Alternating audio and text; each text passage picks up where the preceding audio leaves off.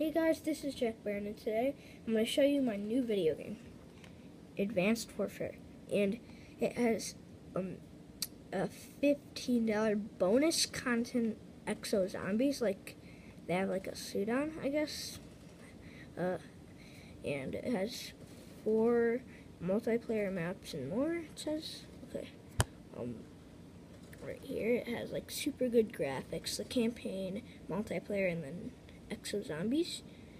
Right there, it has the thing right there, and that's supposed to be like the guy from House of Cards.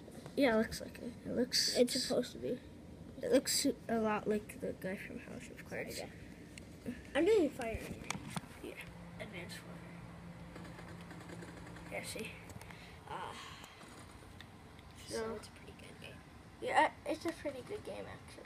Just to practice. Yeah, he's practicing right now.